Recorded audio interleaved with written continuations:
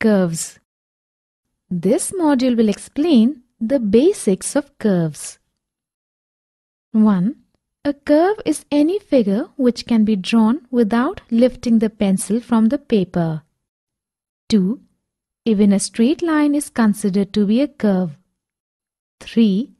If a curve does not cross itself, then it is called a simple curve.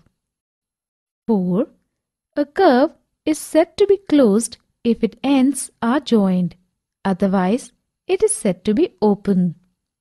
5. In a closed curve, thus, there are three parts. 1.